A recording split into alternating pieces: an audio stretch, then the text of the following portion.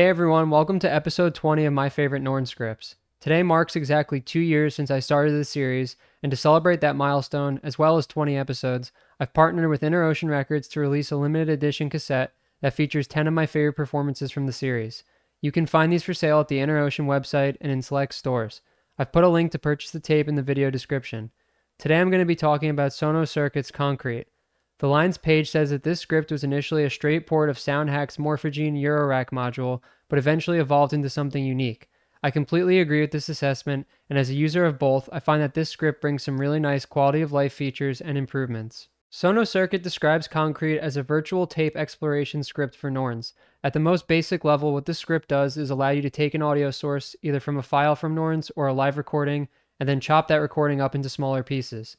You can change the playback speed of those splices, offset their start point, and change the overall size of the loops. These are all things that Morphagene does as well, however, this script takes things a step further and introduces a bunch of additional features. For example, the ability to play the splices like a Mellotron and introduce three parallel voices that can be mixed in with your main voice. Concrete has four pages and you can flip between them using Encoder 1. When you open the script, you'll be on the first page which displays the current reel, splice markers, and recording controls. The top section shows the audio you have loaded into the script, either an audio file from Norns or a live recording. I've loaded in an audio file from my tape folder to make the controls a little bit easier to understand. The main function of this view is to add splice markers to your recording. This allows you to chop up a longer piece of audio into smaller loops. As of version 1.1, there is no cap to the number of markers you can add. I'm going to start playback and then use key 3 to add a splice marker.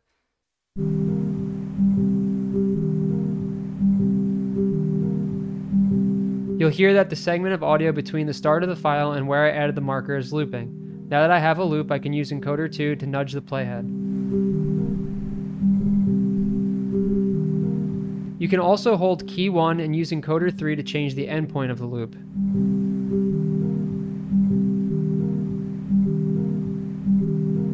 Holding key 1 and using encoder 2 allows you to change the beginning of the loop. Since this loop starts at the beginning of the audio file, this won't work, but for any splice that doesn't, it will. You can also hold key 1 and use encoder 1 to move the entire splice window, but this also only works if the splice doesn't start at the beginning of the reel. To swap between splices, use encoder 3.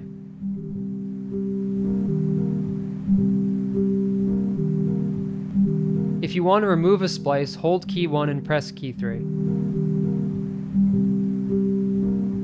That covers the reel section of this page. To switch to the splice view, press key 2. Here, encoder 2 is used to set the input level. If the bar is solid, that means that you'll only be recording from Norn's external input. If the bar is striped, that means that SOS is active, which allows you to record audio from the script's playhead. If you're in SOS mode, then the bar controls how much of the recorded material is from the playhead versus the external input. To toggle between the two modes, hold key 1 and turn encoder 3. Encoder 3 controls the overdub amount. At 100%, all audio is preserved between passes. At lower percentages, the audio level will decay each pass. Holding K1 and turning encoder 2 allows you to change the recording mode. By default, recording follows the loop, which means that it starts at the first playhead and only records within the active loop window. This mode is represented by an R with a line under it. The next mode is active splice, which is represented by an R with a line on either side. In this mode, the record head moves within the active splice independent of the loop window. The final mode is new splice, which is represented by an R with a greater than sign next to it. In this mode, the recording is made into a new splice at the end of the reel. Pressing key 3 will start playback. Holding key 1 and pressing key 3 will toggle recording on and off. Holding key 1 and pressing key 2 will arm recording. This enables you to only start recording when a specific threshold is passed. The threshold can be set in the parameters menu, which I'll get to a little later on in the video. The second page is where things get really interesting. From here, you can set the playback speed and direction, control the number of playheads, offset the loop points, and adjust the size of the loop. Like page 1, this page also has two sections, and you can swap between them using key 2. The first section gives you control over the morph and size parameters. Morph introduces up to three additional playheads, and at max value randomizes their level, pan, and rate. You can increase the morph level with Encoder 2. The bar is roughly broken up into thirds. As soon as you increase the value past zero, a second voice is introduced, then another, and then in the final third, the last voice. Past that point, randomization starts.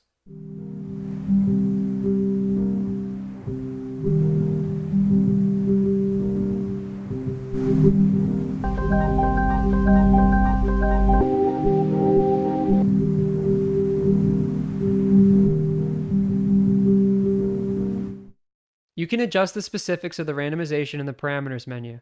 If you like the current randomized configuration, you can hold key 1 and press key 3 to freeze them. Holding key 3 will set the morph to max for as long as you hold it down.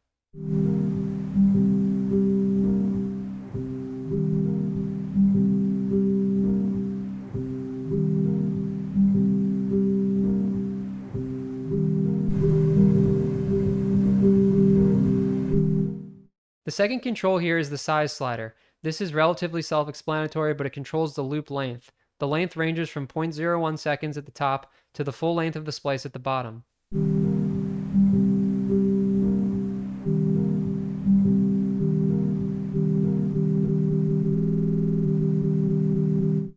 The second set of controls are for vary speed and slide. Encoder 2 allows you to freely change the playback speed of the splice.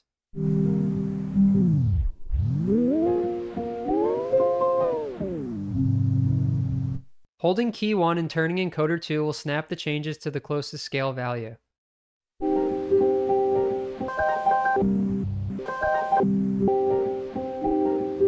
Speeds on the right side of the bar are forward and speeds to the left will be in reverse.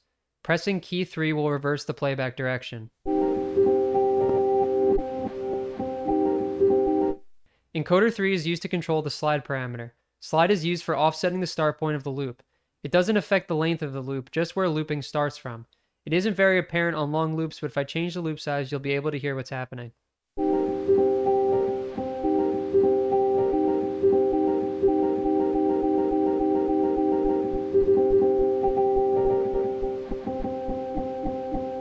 The third page gives you control over the individual voices and has four subpages, which can be accessed by pressing key 3.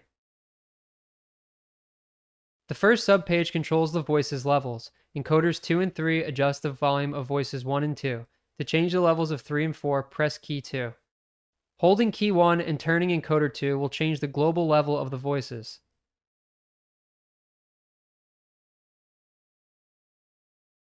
The following three pages all function the exact same way but for their respective parameters. Subpage 2 controls pan, 3 filter cutoff, and 4 filter Q value.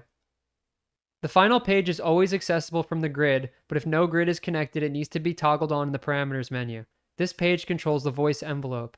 This is a pretty standard ADSR envelope, and like the previous pages, encoders 2 and 3 control the first two parameters, which are attack and decay, and the second two, sustain and release, can be accessed by pressing key 2. For the envelope to work, you need to manually toggle it on in the parameters menu or from the grid. The grid really unlocks Concrete's potential in my opinion. Just like in previous episodes, I'm going to call the rows 1 through 8 and the columns A through P. Starting from the top, you'll find your first 18 splice indicators in rows 1 through 3 in columns A through H. Active splices will be illuminated, and you can swap between them by pressing the corresponding key.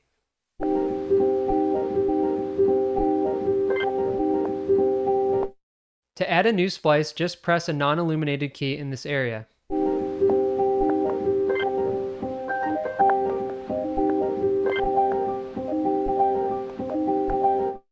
Underneath that, we have the vary speed keys. Vary speed changes for forward playback are found in row 4 between columns B and G. 4B sets the speed to 0%, which stops playback, and 4G sets the rate to 400%.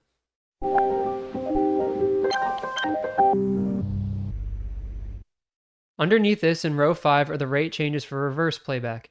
These function the same but are mirrored, with 5B being minus 400% and 5G being 0%. Next is the state section.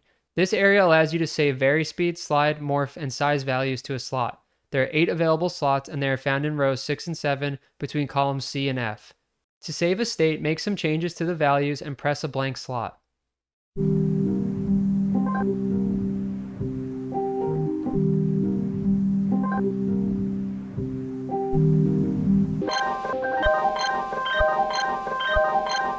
Now repeat the process and press another one.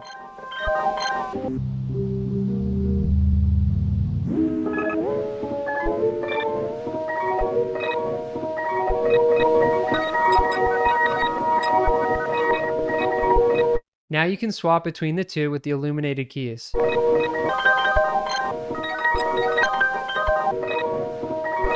Pressing 7A will take you back to your initial state, which reflects the script's default settings. To clear a save slot, hold 7H and press the slot you want to get rid of. The final set of controls on this half of the grid are for playback and record. All of these are found in row 8. 8A toggles playback on and off. 8B stops or starts playback for as long as it's held down.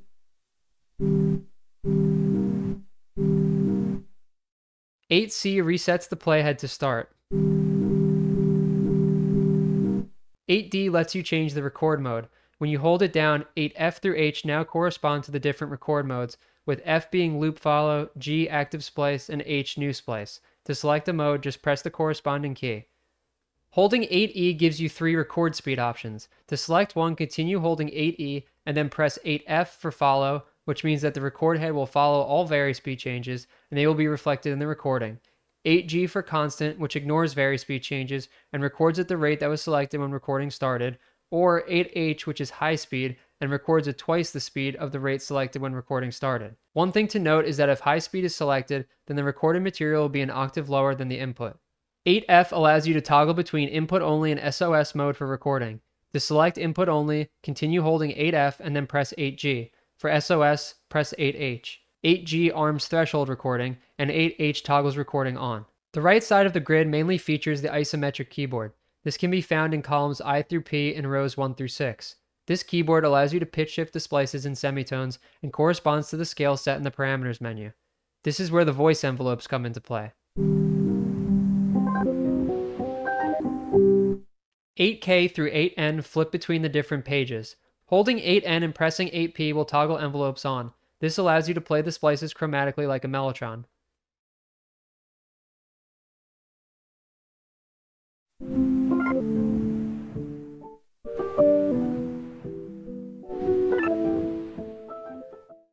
One thing to note is that when envelope mode is active, you need to have playback toggled on, or you won't hear anything when a key is pressed. 8P will toggle the envelope mode between mono and poly. The number of voices available is related to the morph setting. To get full 4 voice polyphony, you'll need to have morph turned up to the appropriate level. One really cool thing here is that if you have morph maxed out, the randomization will occur every time you press a key. In version 1.1, Sonocircuit added LFOs, and these are accessed by buttons 7K through 7N. They're super simple to use. All you have to do is hold the button down and then turn the encoder that corresponds to the parameter that you want to modulate. For example, if I want to target the morph parameter, I'll hold down 7K and turn encoder 2. This gives me the option of toggling the LFO on or off. Holding 7L and turning encoder 2 will control the depth of the LFO. 7M controls the rate, and 7N controls the shape. All of the LFOs follow the same pattern, and you can apply an LFO to slide, size, morph, level, pan, cutoff, and filter Q. It should come as no surprise that Concrete has an extensive parameters menu. Like always, I'm going to start from the top. The first subfolder is for the reel parameters. Load and Save offers some options when it comes to loading audio from Norns directly. Load Reel lets you browse the folders on Norns for an audio file. Save Reel lets you save the current reel. Concrete's playback buffer is mono, so select channel allows you to choose either the left or right channel to load. Save with preset lets you decide whether or not the reel is saved to the preset. By default, this is enabled. Finally, clear and reset reel clears all audio and splice markers. Next is the recording subfolder. This is similar to the load one, but has a few more parameters. A lot of these are present on the grid and in the main display, so I won't go over those. The first new parameter here is the input setting. This determines how the audio input is handled when recorded. Sum takes the stereo input and sums it to mono. Left is only the left channel and right is only the right. Off bypasses the external input completely. Threshold sets the range for recording to start when in record arm mode. The last parameter is record ghost and allows you to enable it or disable it. I'll get into what the ghost is a little later on. Splices has options related to individual splices. Append slice to reel allows you to load a different audio file to the end of your reel. This is helpful if you want to load a bunch of short audio files instead of a single long one. Save active splice allows you to save just the current splice to Norns. Reverse active splice lets you reverse only the active splice. The markers and organized sections are there for MIDI mapping purposes. Finally, delete active splice will delete the splice out of the reel and leave silence in its place. Next up is the voice section. All offers control over all of the voices. These are all the same parameters that are available from the display with one exception. Filter type allows you to choose between the default low pass, high pass, band pass, band reject, or off. Individual gives you the same controls, but instead of being applied to all voices, you can change them one by one. The next submenu is the Ghost menu. The Ghost is a fifth playhead that occasionally shows up to add a little something special to your loop. Appearance lets you control when the Ghost appears. By default, it's off, but you can set it to during playback, during silence, or always. Probability sets the frequency at which the ghost appears, with lower values being more rare and 100% being constant. Volatility influences the duration of the ghost voice. Higher volatility means that the ghost sticks around for a shorter amount of time. Dispersal sets the bounds for the ghost. Free allows it to pull audio from the entire reel, confined will keep the ghost within the active splice. Rate sets the base size of the loop and is tied to Norn's internal clock. The playhead controls are the same ones that are present in the voice section except these apply only to the ghost. The next section features a lot of parameters that are present in the main view, but there are a few additions. Tape transport lets you set the age of the tape machine. By default, this is set to new and playback is stable, and rate changes happen immediately. However, playback and rate changes get increasingly bendy and unstable as you age the machine, with broken being completely unstable.